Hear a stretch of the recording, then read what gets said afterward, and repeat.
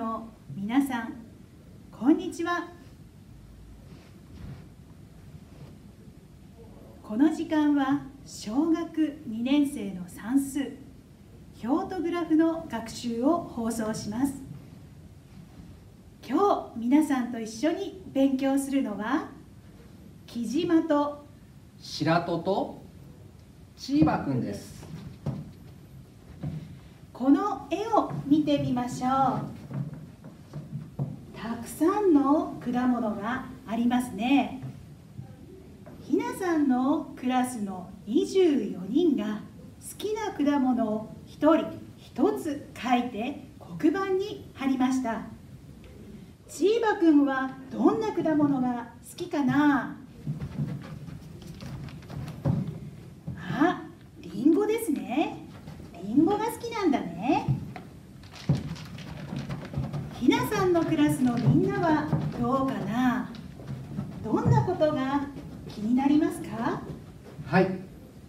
チーバくんと同じようにりんごが好きな人が何人いるか気になります。他にもどの果物が好きな人が多いか気になります。でもバラバラなのでよくわかりません。パッと見てわかるようにしたいですね。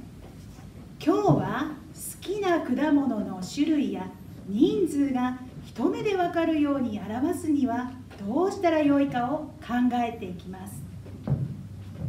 どうしたら分かりやすくなると思いますか？はい。りんごのところに印を書いてもいいですか？いいですよ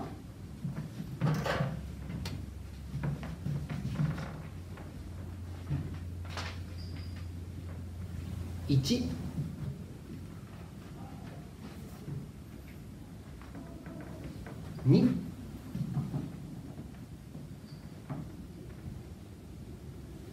三。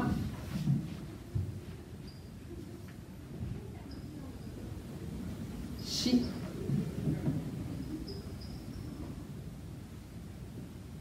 五。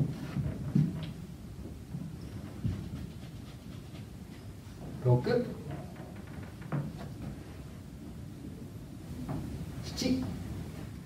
りんごが好きな人は7人と分かりました。そうですね。白戸さんはりんごの近くに丸の中に数字を書いて数えていましたね。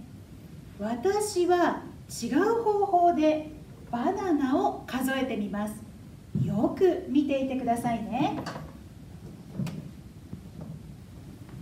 1 2 3 4 5 5人と分かりました。先生他の果物を調べてみてもいいですか？いいですよ。僕も先生と同じようにやってみます。ぶどうが好きな人は？1 2 3 4ぶどうが好きな人は？4人いました。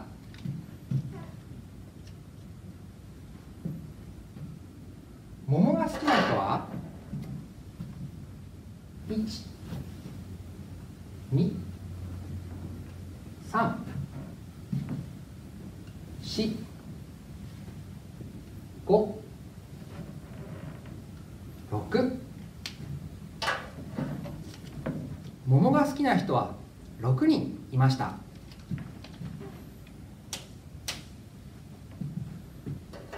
最後にメロンが好きな人は？1 2メロンが好きな人は？2人いました。よくできました。数え間違いがないように気をつけていましたね。ここで調べた結果を整理するものとして表を紹介します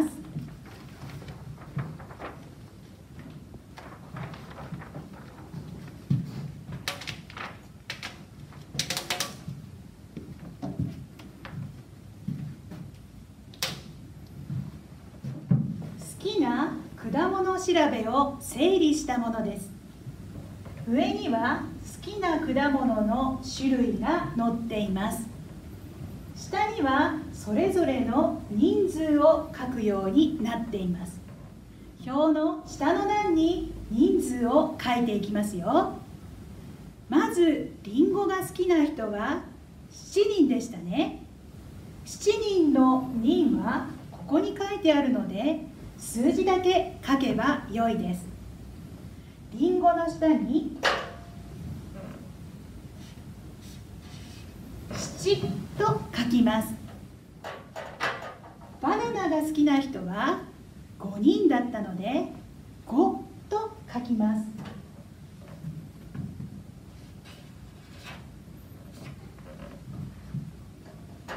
では続きを白戸さんお願いします。はい。ぶどうが好きだった人は4人なので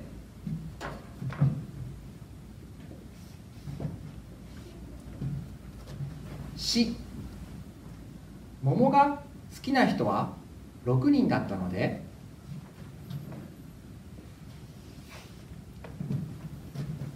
6メロンが好きだったのは2人だったので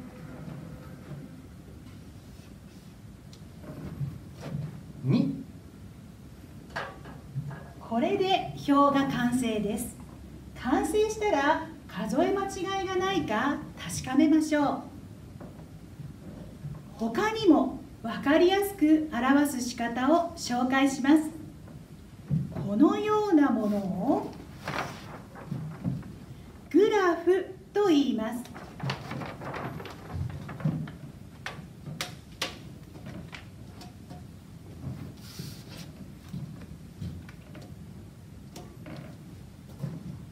丸を使ってグラフに書くと分かりやすく表せます。例えばりんごが好きな人は7人でした。なので丸を7つ書きます。下から丸を書きますよ。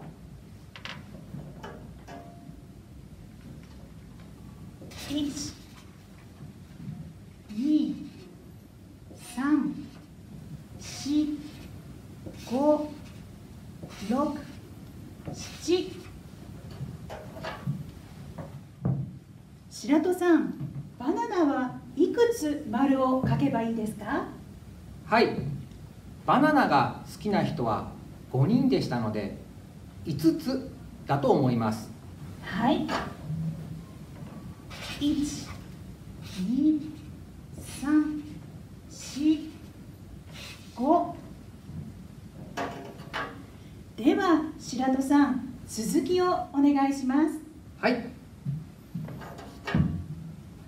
ぶどうが好きだったのは4人だったので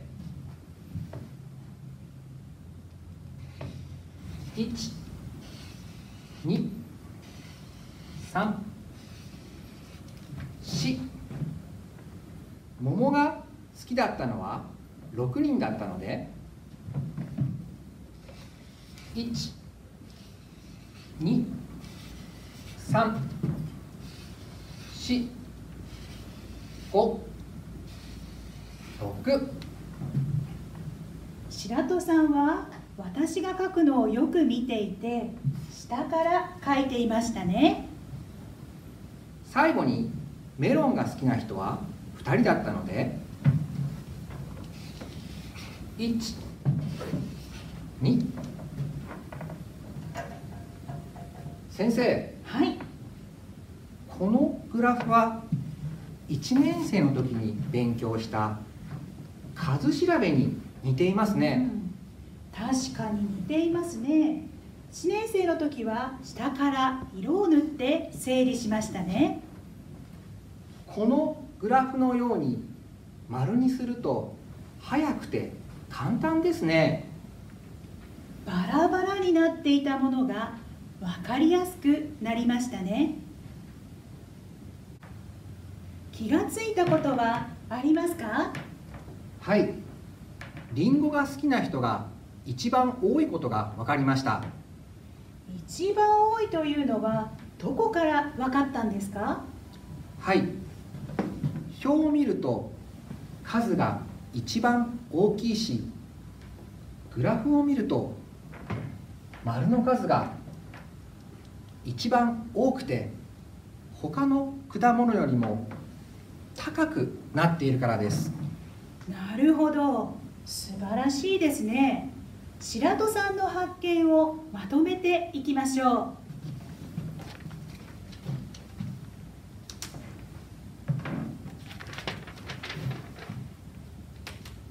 う。りんごが好きな人が一番多い。確かにそうですね。表やグラフにすると分かりやすいだけでなく新たな発見がありますね。他にも見つけたことはありますか？はい。りんごが好きな人はバナナが好きな人より2人多いことが分かりました。表やグラフのどこから2人多いことが分かったのですか？はい。グラフを見るとりんごが好きな人は1234567バナナが好きな人は12345この部分で2人多いことが分かりました。そうですね。グラフにするといろいろなことが気づくことができますね。では今日の学習を振り返って気がついたことをチーバくんに教えてもらいましょう。チーバくん。表に表すと数が一目でわかる。千葉君ありがとう。そうですね。表に表すと数が一目でわかりましたね。他にもあるかな？チーバくんグラフに表すとどこが多いか少ないかすぐわかる千葉君ありがとう。そうですね。グラフに表すとどこが多いか少ないかすぐわかりますね。テレビの前の皆さんはどんなことに気がつきましたか？見つけてみてくださいね。先生。はい。家でお天気調べをしてみたり今週食べた野菜調べなどをして表やグラフにまとめてみてもいいですか？いいですよ。新しい発見があるかもしれませんね。皆さんも家でぜひやってみてください。今日は数を分かりやすく表す仕方を勉強しましたね。次回は千葉くん。次回の学習は足し算です。楽しみにしていてくださいね。これで小学2年生算数表とグラフの学習を終わりにします。